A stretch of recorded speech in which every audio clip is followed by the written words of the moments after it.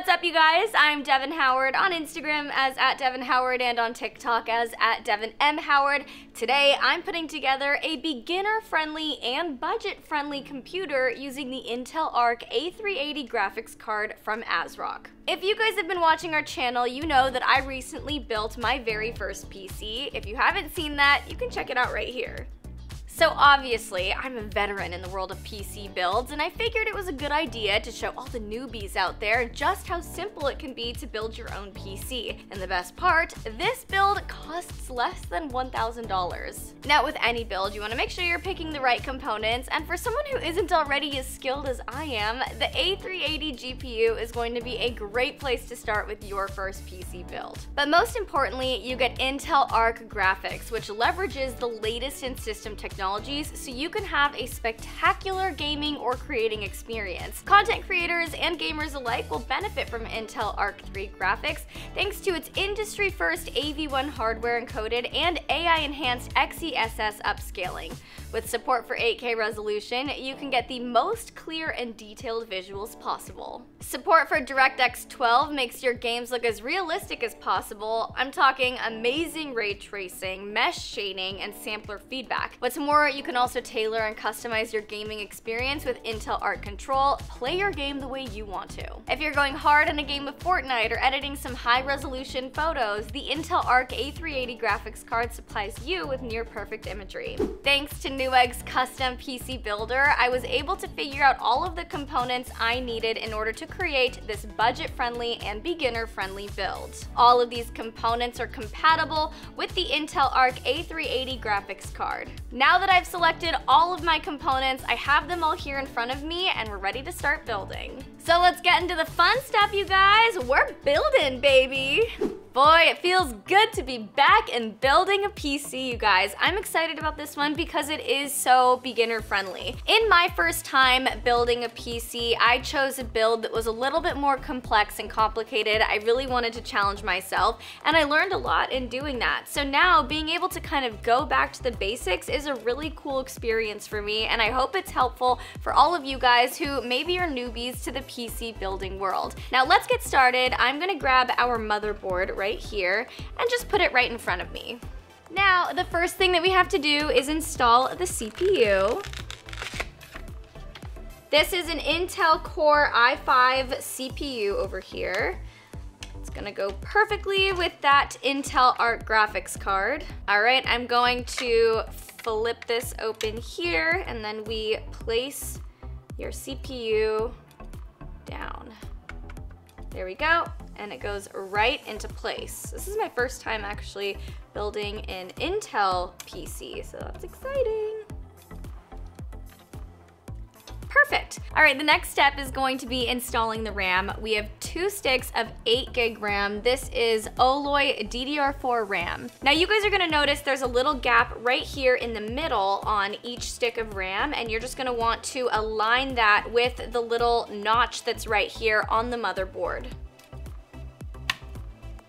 I remember the first time I installed RAM into a motherboard, I was being very gentle with it because I was nervous I was gonna break something or bend something, but you can actually apply a little bit of force. In fact, you're going to need to in order to properly install these. Okay, now we're going to install the M.2 SSD. This is an Intel 670p series. It has 512 gigabytes. And we're going to put that right here. Here's a little tip for you guys. You'll know your M.2 is properly installed when it's got a little bounce like that. You wanna watch it bounce. Oops. Let's try that again. So it looks like ours is good to go and we can screw it back into place. There we go, things are looking pretty good, you guys. Now let's move on to the next step. Okay, so the next step is going to be installing our motherboard into the case. So I'm gonna move this to the side and then we'll open this up. Okay, hopefully I can just screw these out easily. Oh, look at that. Ooh. Ah. Wouldn't be a Devyn Howard special if something didn't go flying, so now you guys know. Don't want to get my fingerprints on it. Okay, we have the case open and it's on its side. Now I want to point out something. There are some risers that are already installed into this PC case and those are going to act as your guide when you're placing your motherboard. That's where all of your screws are going to go. So just keep that in mind. It's always those first two screws that are the hardest, you guys. Oh yeah, that ain't going anywhere, you guys. Okay, I flipped this PC back over and now we're getting the PSU installed. It's all plugged in, so we're just sliding it right into place. Screw number one going in. How fun is this? If this is my job, you guys. Just out here building PCs for fun. Okay, we have all of these cables that I'm gonna start hooking up before we get into installing all of the other components this one right here.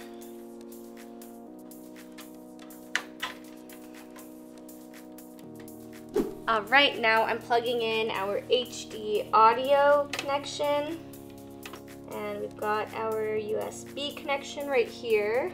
Okay, so the next step is installing the CPU cooler. And the first thing that you have to do is put a pea-sized amount of thermal paste right onto the CPU. I love using thermal paste because I feel like a doctor, like I'm about to give you a shot or something, so it's kind of fun. Okay, so we're gonna just put a tiny little bit right here on the CPU.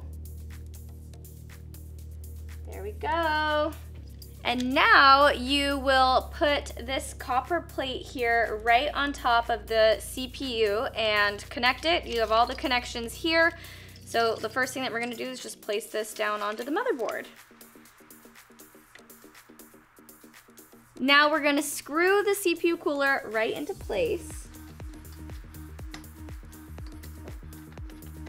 All right, you guys, so now I have screwed in our cooler and we're going to just connect this three pin and four pin to the motherboard.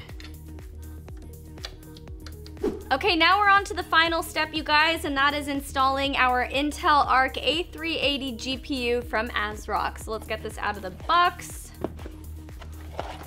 Now this uh, GPU has a small form factor, as you can see, but it still is very aesthetically pleasing. You have this sort of like brushed metal look right here, and this fan has some RGB in it. You also have the installation guide if you need it. All right, you guys, now your GPU is just gonna be installed directly onto the motherboard. So let's do that right now.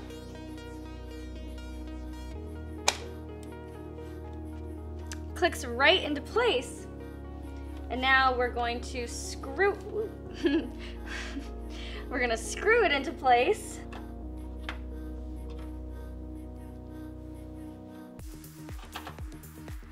All right, looking pretty good, you guys. Now we have one cable that I'm going to plug into our GPU, and then I think we're gonna be ready to turn this baby on.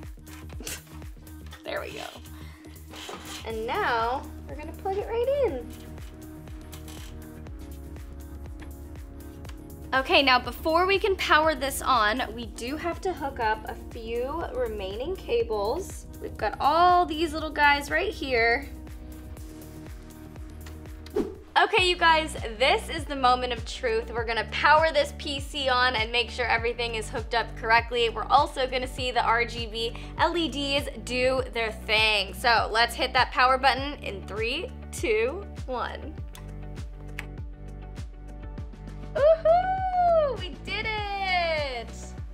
You guys, this looks absolutely incredible. I love all of the RGB. We've got it right here on the RAM, on the fans, right here. I mean, this looks like a great PC and it's budget friendly too. Even though I'm an expert PC builder, it still brings me so much joy and excitement to see a PC I built come alive for the first time. Building a PC doesn't have to be complicated or complex, you guys. Building something simple and beginner friendly still brings so much satisfaction, especially when you're using an Intel Arc graphics card. The small form factor of this guy makes it perfect for builds that aren't super bulky, but it still brings big power when it comes to graphics. Shop for your Intel Arc A380 graphics card at the link in the description. Don't forget to subscribe and tap the bell. I'm Devyn Howard. Thanks for watching. Bye, guys.